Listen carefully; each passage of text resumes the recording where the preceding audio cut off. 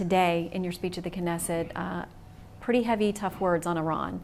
So where do we go from here, and what partnership uh, do we have with those in this region that will make a difference? The, the last thing that we want to see uh, after driving ISIS out of Iraq and literally on the cusp of driving ISIS out of existence in Syria is to see Iran and the Iranian Revolutionary Guard fill that vacuum. And the United States of America and our allies are simply not going to let it happen.